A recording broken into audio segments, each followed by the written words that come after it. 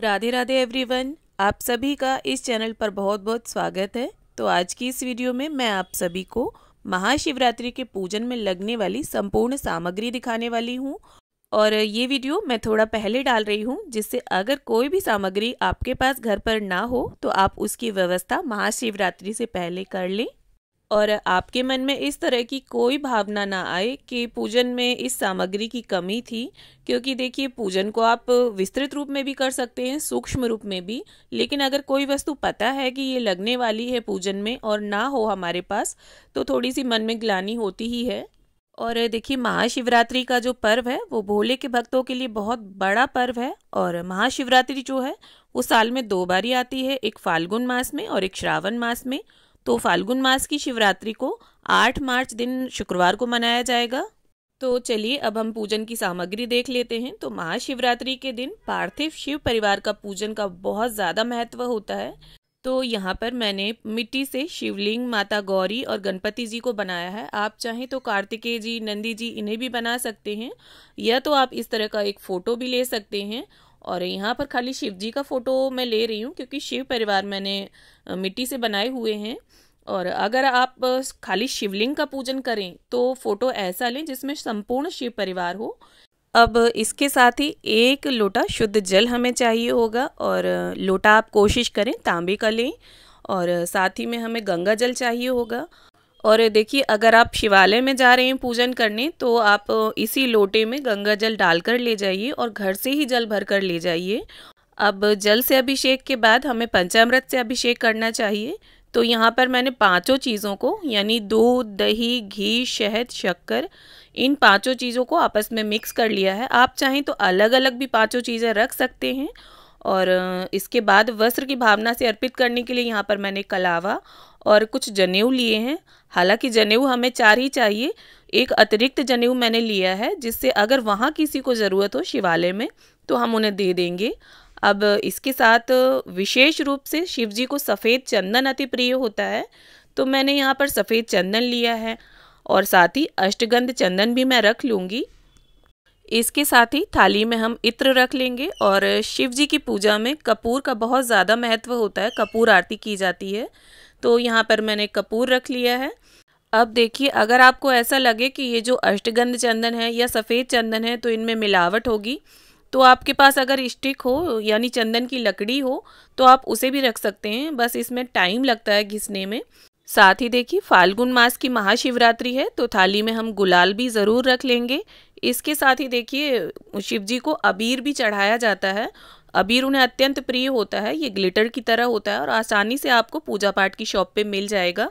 तो उसे भी हम रख लेंगे और एक शुद्ध देसी घी का दिया ले लेंगे और धूप बत्ती ले लेंगे और इसके साथ ही माचिस भी ज़रूर रख लेंगे थाली में और एक कुमकुम का पैकेट मैंने यहाँ पर लिया है। आप चाहें तो रोली या सिंदूर भी रख सकते हैं और अपने इच्छानुसार आप थोड़ी दक्षिणा भी थाली में ज़रूर रख लें। और आप चाहें तो सिक्के भी रख सकते हैं। आपको लगे कि शिवालय में गीले हो जाएँगे नोट। अब इसके साथ ही यहाँ पर देखिए मैंने कुछ बेलपत्र लिए हैं शमी पत्र लिए हैं और चूँकि शिव जी को शमी पत्र भी अत्यंत प्रिय होता है तो चाहे आपको एक ही शमी का पत्ता मिल जाए तो वो भी काफ़ी होगा।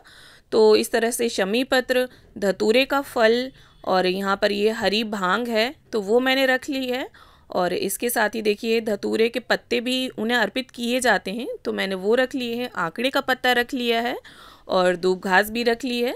तो इस तरह से ये जो सामग्री है, वो महाशिवरात्रि के दिन सभी शिवालियों के आगे अक्सर माली बैठे होते हैं तो उनके पास बड़े ही आसानी से आपको मिल जाएगी। अब इसके साथ ही यहाँ पर मैंने कुछ लाल गुलाब लिए हैं, गणपति जी माता पार्वती को अर्पित करने के लिए। एक गेंदे के फूलों की माला ली है और कुछ सफ़ेद फूल भी मैंने रख लिए हैं। अब देखिए, महाशिवरात्रि के दिन शिवजी और माता पार्वती का विवाह हुआ था तो माता पार्वती को अर्पित करने के लिए यहाँ पर कुछ श्रृंगार की सामग्री मैंने ले ली है। उसमें देखिए, चूड़ी, बिंदी, महावर, मेहंदी और सिंदूर, ये पाँच चीज़ें आपको ज़रूर रखनी है। इसके अलावा आप चाहें तो सोलह श्रृंगार की पिटारी भी लगवा सकते हैं, क्योंकि महाशिवरात्रि का जो दिन है, वो शिव पार्वती के विवाह की वर्षगांठ के रूप में मनाया जाता है। और इसके साथ ही देखिए, महाशिवरात्रि के दिन बेर के भोग का विशेष महत्व होता है। तो यहाँ पर मैंने बेर ले लिए हैं और इसके साथ ही जो भी ऋतु फल आपके घर पर उपलब्ध हों, आप उन्हें रख लें। क्योंकि देखिए, महाशिवरात्रि पर सभी का व्रत होता है तो हमें फलाहार ही भोग अर्पित करना होता है। और देखिए, अक्षत मैं आपको पहले बताना भूल गई तो हमें अक्षत भी थाली में ज़रूर रखने हैं। अब इसके साथ ही यहाँ पर मैंने शिव जी के लिए एक सवा मीटर पीला कपड़ा और माता पार्वती के लिए एक चुनरी ली है।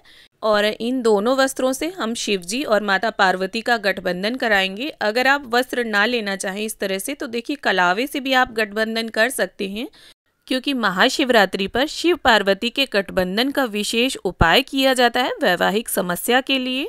और इसके साथ ही देखिए, अगर आप घर पर पूजन कर रहे हैं तो आपको महाशिवरात्रि के व्रत की कथा की पुस्तिका चाहिए होगी तो वो रख लेंगे हम और इसके साथ ही हमें एक चौकी चाहिए होगी और या चौकी ले लें या पटा भी ले सकते हैं आप चौकी की जगह पर और चौकी या पटे पर बिछाने के लिए हमें लाल, पीला या सफ़ेद कलर का वस्त्र भी आप बिछा सकते हैं।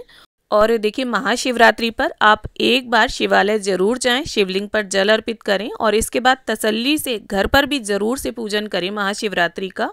तो इस प्रकार से ये वो संपूर्ण पूजन सामग्री है जो महाशिवरात्रि के पूजन के लिए हमें चाहिए। इसके अलावा अगर आप कलश की स्थापना करना चाहते हैं तो हमें एक लोटा चाहिए, तांबे या पीतल का और लोटे के अंदर डालने के लिए सिक्का, सुपारी, हल्दी की गांठ और हमें देखिए कुछ पत्ते चाहिए होंगे तो यहाँ पर मैंने आम के पत्ते लिए हैं। अगर आपको आम के पत्ते ना मिले तो आप अशोका के या पान के पत्ते भी कलश में लगा सकते हैं। अब इसके साथ देखिए हमें एक जटा वाला, पानी वाला नारियल चाहिए होगा, आप हिलाकर देख लें, उसमें पानी होना चाहिए। और अगर आप दीप कलश की स्थापना करें तो एक शुद्ध देसी घी का दिया चाहिए होगा। तो उम्मीद करती हूँ वीडियो से आप सभी को हेल्प मिले। वीडियो अगर पसंद आया हो तो वीडियो को लाइक करें शेयर करें और चैनल सब्सक्राइब अगर नहीं किया है तो सब्सक्राइब कर लें। धन्यवाद।